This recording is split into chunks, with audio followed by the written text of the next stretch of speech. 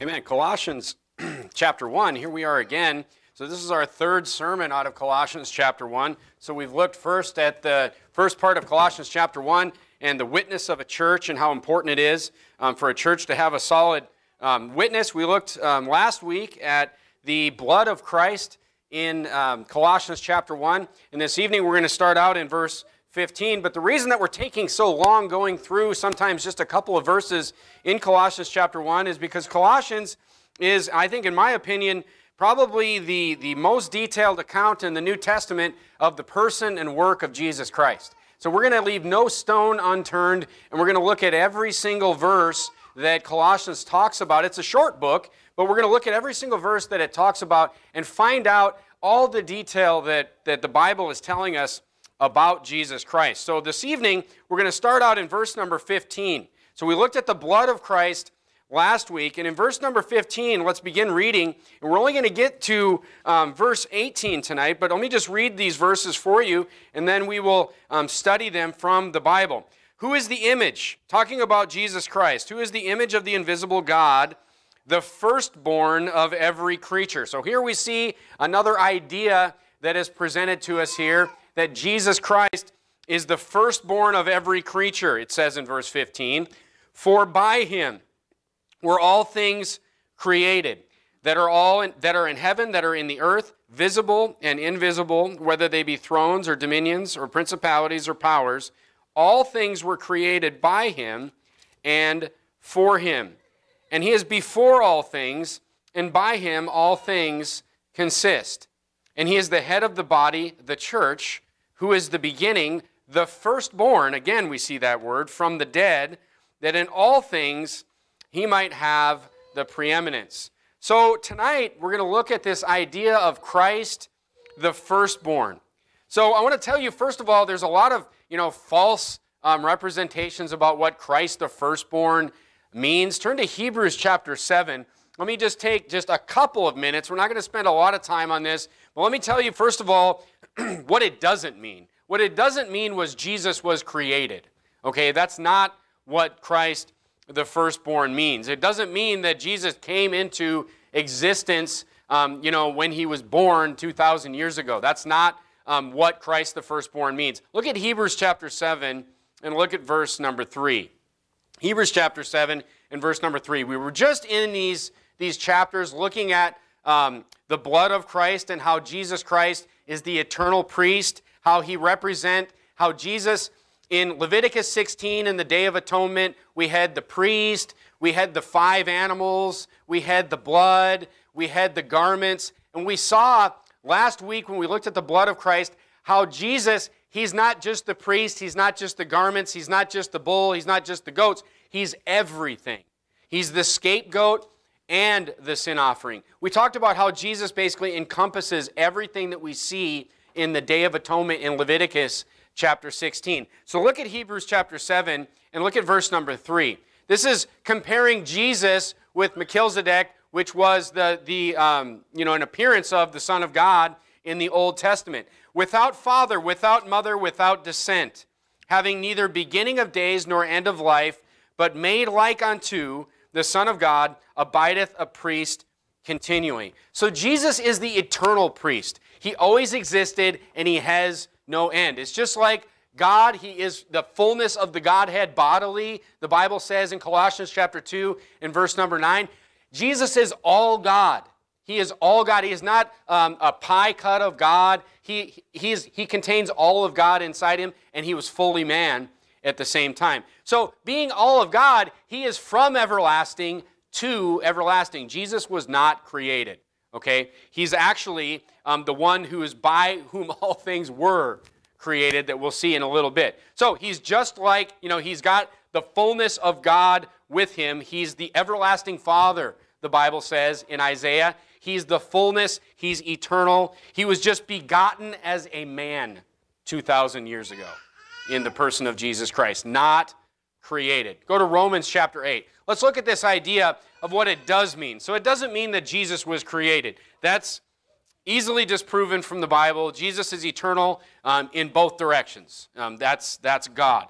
Look at Romans chapter 8 and look at verse number 26. Now, Romans chapter 8 and verse 26 through about verse 29 are, you know, there's some pretty deep doctrine in here, and you really have to. I actually have notes in my Bibles, you know, that when I read these verses, you know, Romans 8 28 is a fridge magnet right? People like to just repeat that all the time and they don't even really know what it means. We looked at that a couple weeks ago as well. But let's look at what Romans 8 and verse 26 through 29 is actually saying here. Now, there's the word he, I think, that comes up here six times or so, and you have to you have to understand what which he the Bible is talking about in each of these verses. So let's just begin to read it. Look at verse 26. Let's get the context. Likewise, the Spirit, that's capital S. This is the Holy Spirit we're talking about here, also helpeth our infirmities. For we know not what we should pray for as we ought, but the Spirit itself maketh intercession for us with groanings which cannot be uttered. So here, this is a super important verse for the Christian who's sealed by the Holy Spirit, who's indwelled by the Holy Spirit. Here, I mean, this should make you happy tonight. If you're in a bad mood and you're saved tonight, you should be in a good mood now because the Spirit that dwells inside you, it's not just hanging out there doing nothing. The Bible says here that the Spirit within you, the Holy Spirit, it actually intercedes for you. The Bible is saying that many times, you know, it helps you with your infirmities, your troubles, your sins in your life. It says many times you don't even know what to ask for. You don't even know what to ask for. So the Holy Spirit makes intercession for you in your life. I mean, that's super good news. Now look at verse 27.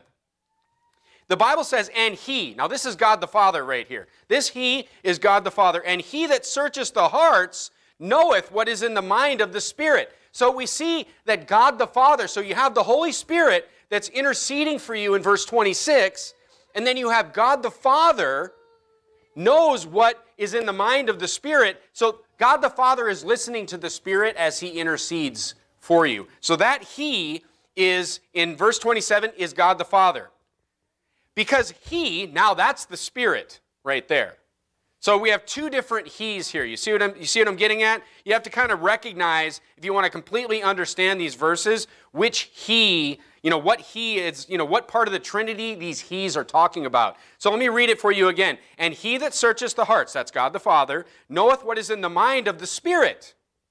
That's the, the Spirit in the Trinity, because he, that's the Spirit, maketh intercession, as that matches verse 26, for the saints according to the will of God. So the Bible says here that as the Holy Spirit inside you makes intercession to God, God listens to the Spirit, and the Spirit knows the will of God. So as you pray for stupid things, the Holy Spirit intercedes for you and goes to God and says, No, he didn't really mean that. What he meant was this. Because the Spirit knows the will of God because the Spirit is God. Okay? Look at verse 28. And we know, and this is the, the famous verse that everybody has on their fridge, and we know that all things work together for good to them that love God, to them who are called according to his purpose. So, that, of course, we talked about Sunday morning. That's a great promise that God gives us. That's a great promise that God gives to saved people that love him, that follow him, that no matter if even if bad things happen to you, he will work those things for the good. And I talked about Sunday morning how the most extreme and obvious example of Romans 8:28 is a prophet that is tortured and killed for the for the cause of Christ. Or somebody that would be persecuted and killed for their faith in Christ. Because why? Because that's a powerful witness to the rest of the world. So that's the good that God uses that comes from such a bad thing. Hebrews chapter 11, Hebrews chapter 12. That's why God had the prophets go through such hard times. So that's a witness for the rest of us throughout history. Look at verse 29. For whom he did foreknow, that's God the Father, he also did predestinate to be conformed to the image of his Son, that he, now that's the Son right there, might be the firstborn of many brethren. So I just wanted to explain verse 26 through verse 29 for you, you have to know which he, in order to really understand those verses, you have to really be thinking about which part of the Trinity is represented by each he there. So, he, the last one, is the Son, is the firstborn. That's our study tonight. So, he might be the firstborn amongst what? Amongst many brethren. So, what that means is that we are supposed to be, we, look, it is our, I really don't understand how people have such a hard time with this idea of predestination in the Bible. What this is saying in Romans 8:29 is that if you are saved, it is your destiny. You are predestinated to become to be conformed to the image of Christ. That's what that means. Look, it's your destiny. That's what it means to be predestinated. So God, every single person that gets saved, God has predestinated you to be conformed into the image of his son. We are supposed to be like Christ. Is this is what this is saying. Now look, is there free will? Yes, there is. So this predestination doesn't mean we're all turned into robots and like all of a sudden we get saved and now we will always do the right thing always. That's ridiculous. No one thinks, look, just think about the word destiny. Just think about the word destiny. What does that mean? It's my destiny to be this. Does everyone always realize their destiny? It, it doesn't happen. What this means in Romans 8:29 is that Christ is the firstborn and he is to be the firstborn of many brethren, meaning all people that get saved are supposed to become like Christ. That is God's plan for you. You are to be conformed to the image of his son. I mean, just think about think about destinies. I mean, think about um, destinies, you know, predestinated destinies, if that's even a, a, way to say it, of people that didn't make. How about Eli's sons? Did, I mean, what was their destiny? Shouldn't they have been priests and prophets and godly men? Think about, you know, think about king's sons. Look, if you were, if you were in, in the, you know, if you were in the kingdom of Judah and you were the son of a king, it's your destiny to be the next king. I mean, did all sons meet that destiny? How did it work out in the northern kingdom of Israel? Did all sons meet the destiny of becoming the next king? It didn't happen. Folks, it happens. Think about every father's plans for his son just in this life. Think about dads tonight. Think about the, the, the ideas that you have for your kids. Look, that's your predestinated plan for them. And look, I hope you can realize those plans, but is it 100% that it's always going to work out that way? So, this idea that this, I don't understand how people cannot understand this. It, it, look, you are, you're predestinated to be many brethren, of which Christ is the firstborn, meaning we are to be conformed to him. That's what that means. Okay, turn to Hebrews chapter 12. Hebrews chapter 12. But we have free will. We looked at that. I mean, we looked at that on Sunday morning. We have free will in this life. God wants us to come to Him willingly. No husband would want a wife that was forced to be married to him. No wife would want a husband that was forced, you know, at, at the point of a gun to be married to them. We have free will. We are supposed to do these things, but, you know, we fail, we come short every day. Look at Hebrews chapter 12 in verse number 3. Back to Christ, the firstborn. To the general assembly and church of the firstborn, which are written in heaven, and to God the judge of all, and to the spirits of just men made perfect. So Christ, it says in Colossians chapter 1 that Christ is the firstborn of every creature. Turn to John chapter 1. Turn to John chapter 1. Let's look at some backup of, of um, Colossians chapter 1. Look at John chapter 1. It does not mean he was the first created. We know that Christ is, is God. He was from everlasting to everlasting. Look at John chapter 1, and let's look at what it means that he's the firstborn of creation. Look at verse um, number 1 of John chapter 1. In the beginning was the Word, and the Word was with God. In verse 14, we know that the Word was made flesh. We know that Jesus is the Word. The Word was with God, and the Word was God. The same was in the beginning with God. And look, all things were made by him. So Jesus, and without him was not anything made that was made. Look, Jesus created the world. How? Because he was God's word. And God said, and God said. That is literally how creation came about. God spoke it into existence, and Jesus was the Word. And the Word became flesh in verse number 14 of John chapter 1. So look, go to Matthew chapter 28 and let's let's kind of put a wrap a wrapper around this. Go to Matthew chapter 28. So Jesus, He's the firstborn. We're supposed to be like him. We're, that we're supposed to be the many brethren of which he is the firstborn. The Bible says that he created everything.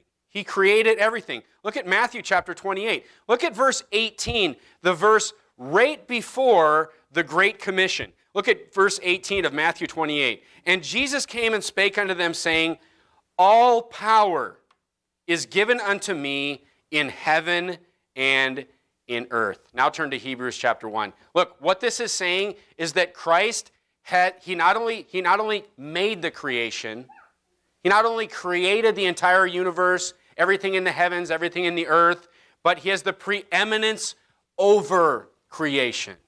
Is what this is talking about. Look at Hebrews chapter 1. Hebrews chapter 1. So Jesus Christ, this is what Colossians 1 is telling us is that Jesus has the preeminence over everything in the universe and on the earth, is what this is saying. Over all the creation, Jesus has been given the preeminence. Look at Hebrews chapter 1.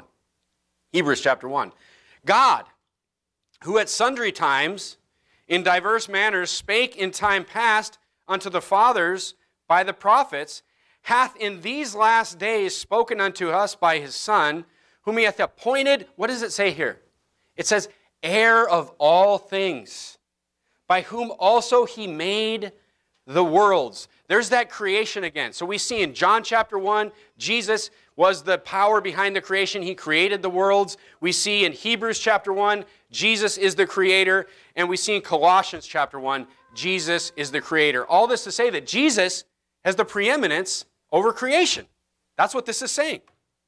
Now, this is interesting. We're going to rabbit trail the sermon here for a little bit, and I'm going to predict the end of the world for you. Look at verse number two. I've always thought that this was interesting, considering that Hebrews was written by Paul, of course, you know, under inspiration of the Holy Spirit, but it was written by Paul, and, you know, I think that the New Testament was completed um, sometime before 70 AD. Um, I'll give um, those reasons in a sermon in a couple of weeks. But look, look what Paul says. Look what Paul says as he, Paul, is writing Hebrews through the inspiration of the Holy Spirit, he says, he's talking about God who hath in these last days spoken unto us by his Son. So Paul is referring to the time that he is living in presently. Say it's 50 AD, for example, as the last days. These last days he's referring. Have you ever thought about that when you read that? Now, turn to, um, I've got a theory on that, and if we actually, we have to make some assumptions here, but let's go ahead and calculate, you know, when the world will end by Paul's comment here. So Paul says that he's in the last days.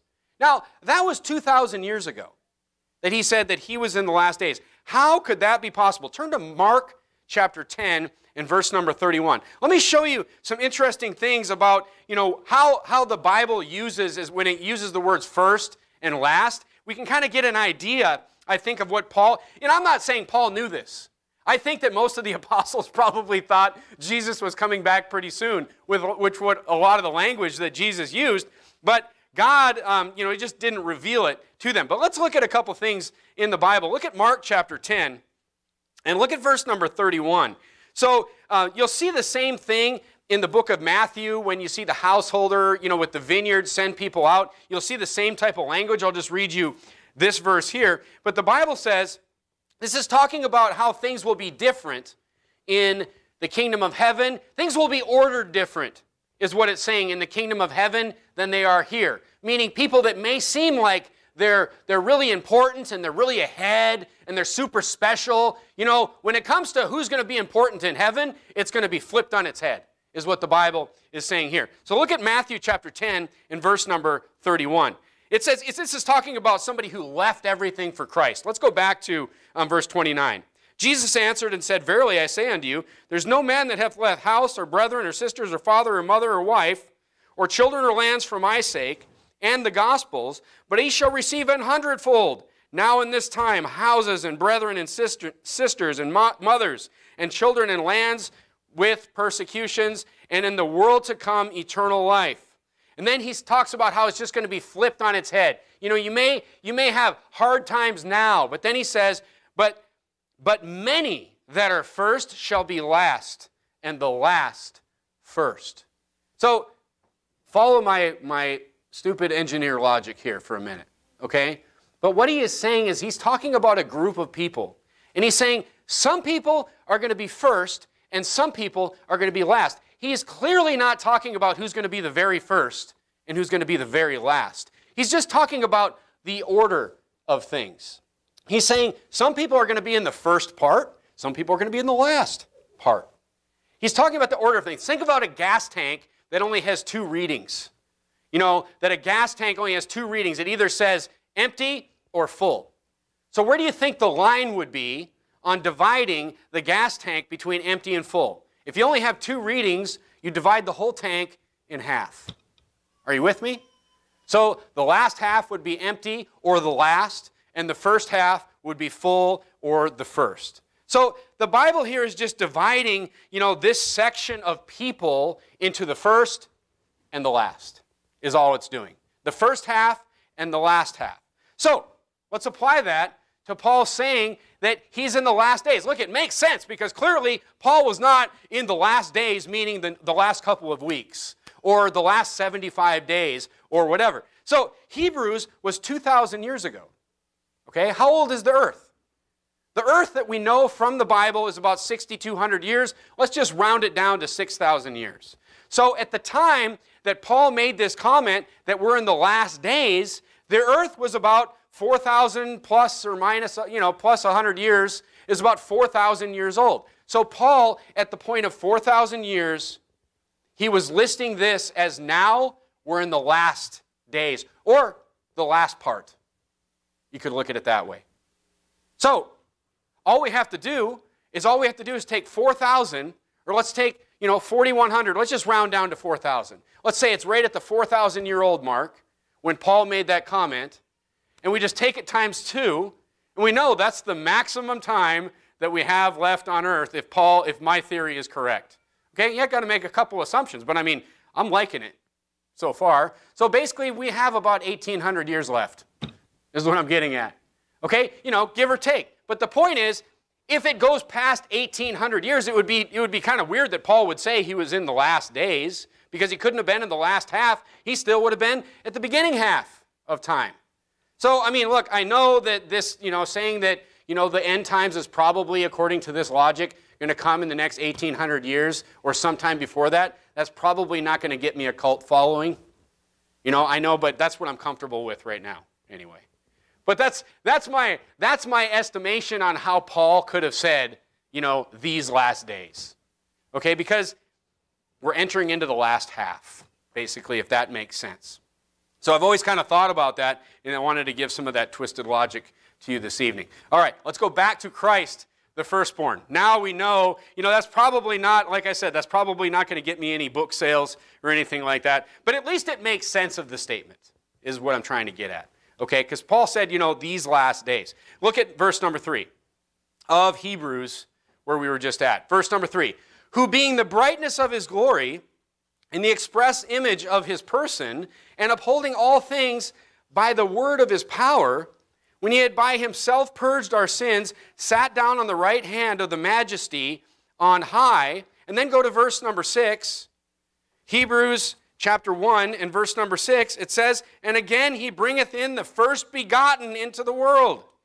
He said, And let all the angels of God worship him. So there's the first begotten, okay, instead of the firstborn. In Revelation chapter 1 5, it says the first resurrected again, or, you know, that same, you know, resurrection from the dead. Look, there's going to be more resurrections. Jesus was the first. Jesus was the first resurrection. So, all that to say this, okay? Jesus created the world. Jesus, according to Hebrews chapter 1 and many other places, in, in uh, Colossians chapter 1, Hebrews, he redeemed the world. He advocates for the world. Turn to Psalm chapter 89. He advocates for the world, and look at Psalm chapter 89. Psalm chapter 89, look at verse number 27. Psalm chapter 89, verse number 27. He has the preeminence over the world. And what does that mean? What is the brass tacks of Jesus having the preeminence over the world? Look at Psalm 89 and verse 27. The Bible says, Also I will make him my firstborn. There it is again. Higher than all the kings of the earth. He will one day rule the world, is what the Bible is teaching here. Turn to Revelation chapter 20. He advocates for it, He created it, He redeemed it. One day, He will rule it. He will rule it. Look at Revelation chapter 20. Look at verse number 4. This is talking about the millennial reign of Christ. One day, Jesus will literally rule the earth.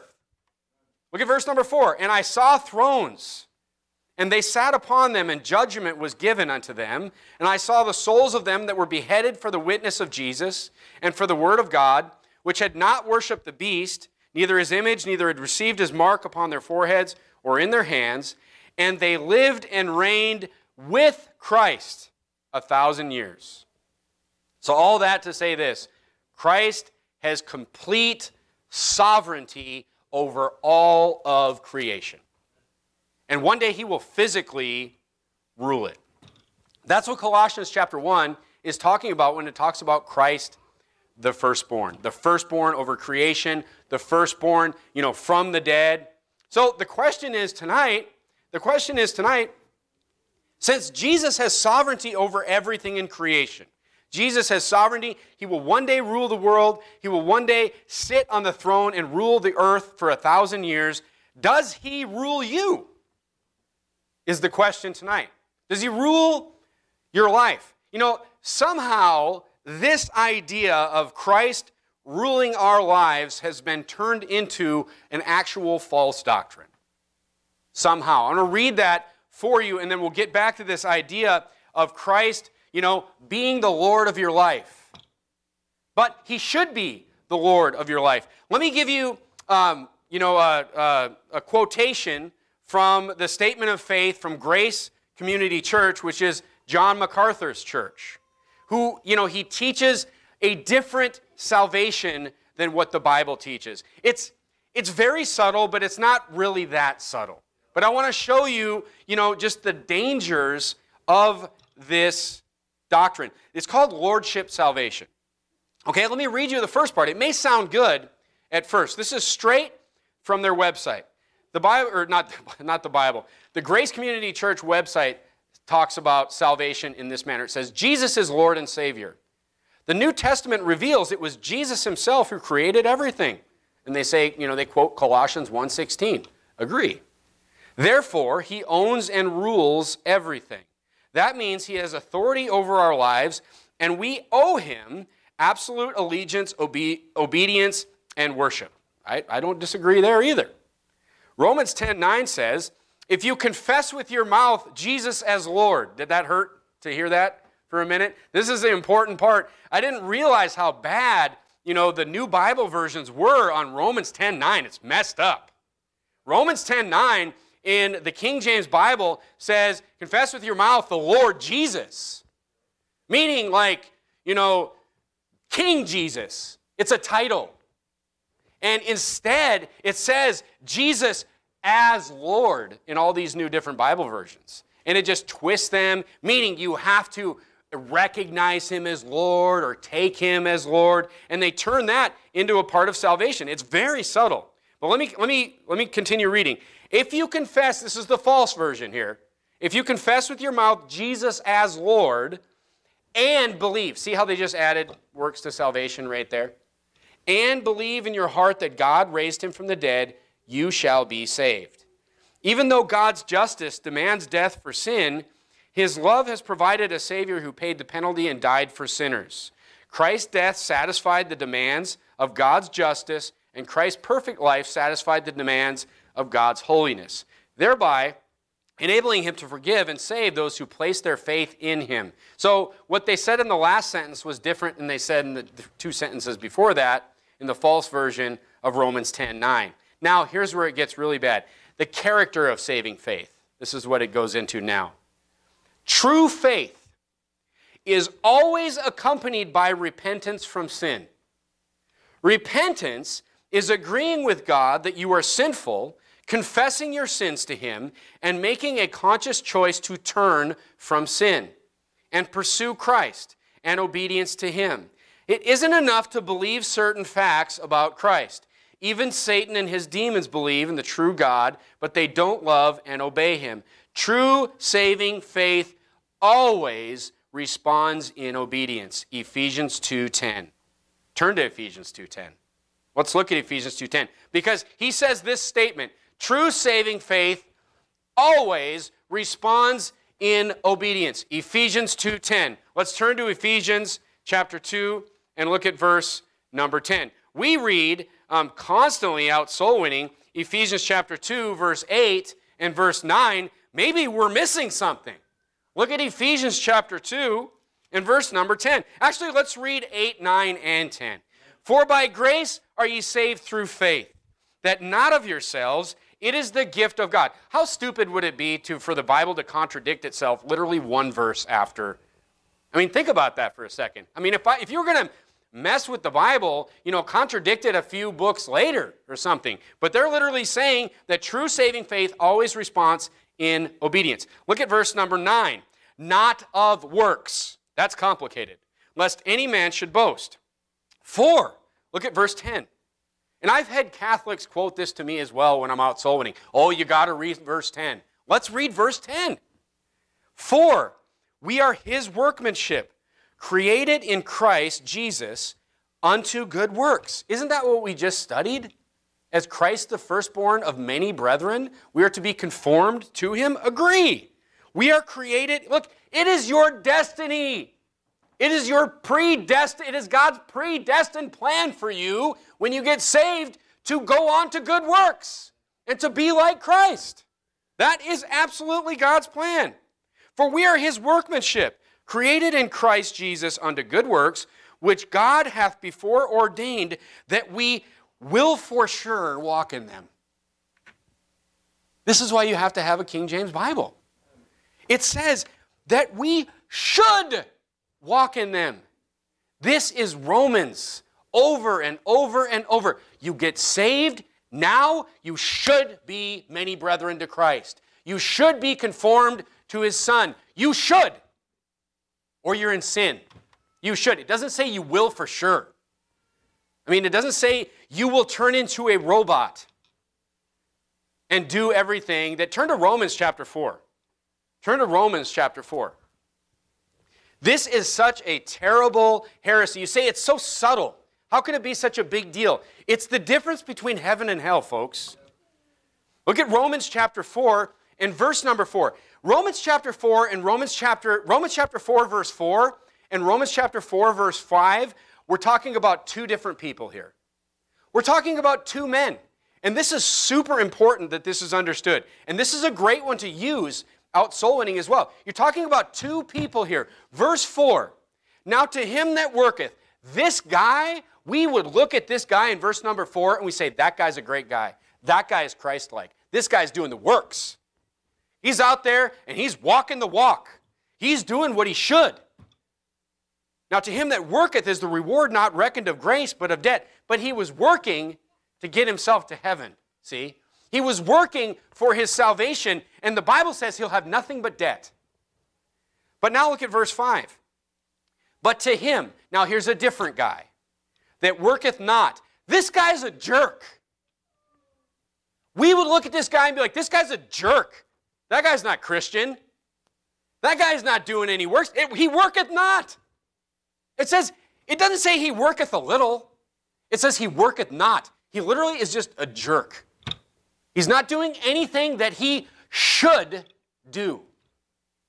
But, uh oh, but he believeth on him that justifieth the ungodly. Look, this guy believes on Jesus, means he trusts in Jesus. That's what believe on means. It means he has trusted in Jesus. His faith is counted for righteousness. The guy in verse 5 that is a jerk is going to heaven, and the guy in verse number 4 that is, is, a, is a nice guy that's doing all these wonderful things, he, he, is, he is the Matthew 7 guy. He's the guy that's going to go to Jesus and say, Look at all my wonderful works. And Jesus is going to say, I never knew you. That is how important this doctrine is. Look, we should do good works. We should be being conformed to Christ. We should be uh, uh, of many brethren of the firstborn. We should be looking more and more like him every day. But when you tie this to salvation, you're going to send people straight to hell because they're not going to get saved, because they're going to be trusting on themselves. Just look, changing the gospel just slightly destroys it. You think about these people in John MacArthur's church. Why go soul winning? These are the people that they would, they would not want to go soul winning. We got, we got, I don't know, a couple hundred people saved last year. We're a small group. We get all these people saved. John MacArthur and his church are the type of people that say, Where are all those people? If they got saved, why aren't they getting their lives together? Why aren't they getting in church? Because they should do those things. It doesn't mean that they will. And look, we want to encourage people. We want to do that, you know, that discipleship, and we want to do that and get people into church, but it has nothing to do with whether or not they're going to heaven or not. Because going to heaven is just trusting, is just believing on. That's why, that's why, why go soul winning? If you have a works based belief, even a little bit of works, it destroys soul winning. Because why would you go? Because you're sitting here thinking that those people didn't get saved, is what the John MacArthurs would think. Thus, it's just a waste of time is what people would think. You know, that's why people with false gospels that go to churches with false gospels, that's why they don't go soul winning. That's a good measure of, you know, a church's gospel right there. Do they go soul winning? Look, it's, it's not just the Cal- Calvinists, folks, that, that don't believe in soul winning. It's the Lordship salvation people because they don't believe that somebody that doesn't change their life, and this is a cousin to repenting of your sins, by the way. This is a first cousin to repenting of your sins. That you have to turn from your sins to be saved. What does that even mean? I mean, how many of my sins do I have to turn from? How many can I keep? Do I have to become sinless? It doesn't make any sense. So look, this this Lord, Jesus being Lord of your life has been used in a very bad way. Now, here's what it does to us. We hear these. We hear a, a you know a sermon on Jesus should be have preeminence over your life. Jesus should be the Lord of your life. And right away we hear that Jesus Lord of my life, and we're like, ah, because we've like met so many people that believe, you know, like same thing with repent of your sins. Look, you should repent of your sins. Whatever definition you want to use for repent, whether that means feel bad for your sins, we know in the Bible to repent means to simply change your mind. God repented again and again and again in the Bible. Does that mean that God sins? No, God simply changed his mind about what he was going to do in Nineveh, in other places in the Bible. But the point is, repenting of your sins, turning from your sins, that's a good thing to do. It has nothing to do with your salvation, but it is a great thing to do. Confessing your sins, a great thing to do. Making Jesus Christ Lord of your life is a great thing to do. You know what we're doing actually? Week in and week out when I get up here, because what does that mean, making Jesus the Lord of your life? How do I know? How do I know I've succeeded with making Jesus Lord of my life? Well, here's the thing every time you do something in your life that, that is against what the Bible says, you have not made Jesus Lord of your life in that area. You're like, that sounds hard. Yeah, it's like impossible. You're never going to get there. But that's why you come to church. That's why you come to church, and I scream at you three times a week and tell you what the Bible says and say, this is wrong, this is a sin, I don't care what the culture out there says, all this fornication, all this drunkenness, all this garbage, all this godlessness, all this perversion is, you know, it's all wicked and bad and you should have nothing to do with it. That's what you're doing. And you're sitting there and you're, you're drinking it in and you're like, yes, that's right. And you're thinking about, oh, I got this in my life. I got this trash I got to get out of my house. I got this, I got this internet in my house that's not under control. I need to get this trash out of my house. You know what you're doing? You're making Jesus the Lord of your life in those areas. But you need the Word of God thrown at you, preached to you. You need to be reproved, rebuked, exhort each other. And that is how you make the, you know, Jesus Christ the Lord of your life. You're like, man, there's so many things I just thought about just now where Jesus isn't the Lord of my life. See how stupid it is that if it would have to do with salvation? It, you, would, you would never get there. You would never get there. Repent of your sins, please. Stop Turn from your sins. Recognize your sins. But you know what the Bible does? You know what happens when you read the Bible? When you read the Bible, you study the Bible, and you listen to preaching from the Bible, it makes sin just pop out in your life. So you can recognize it. Because you know what happens if you go to work and you quit going to church, you just start hanging around a bunch of worldly people? You know what happens? You stop recognizing sin. It just, it just kind of blends in. You will, you, you, maybe you don't realize it if you're in church and you're in your Bible, but here's the thing if you get out of church and you get out of your Bible, and you just get out in the world and you start doing everything, you will literally not know that you are sinning. You'll literally be doing things that you just think are okay. Your conscience will start to become seared, and you will just think that you will just become desensitized to sin. The Bible, preaching, church, your fellowship with your brothers and sisters in Christ, it does the opposite of all that. And that is how, throughout your entire life, folks, look, this is a process from the time you get saved to the time you go into the ground and go to heaven. This is a process. This is the process.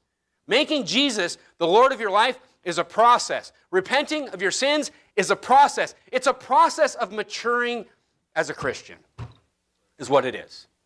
And that's why, that's why we have a midweek service.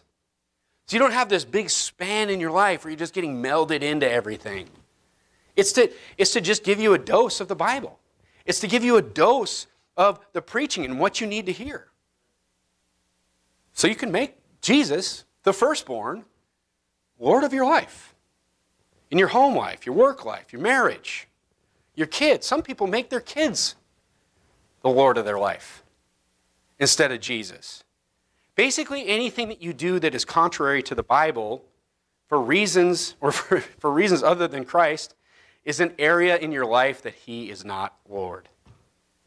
So, Jesus Christ is the firstborn, and we're to make Him Lord of our life. We're to recognize the areas in our lives, and that's by, you know, beholding our natural face in the mirror of the Bible. Let's bow our heads and have a word.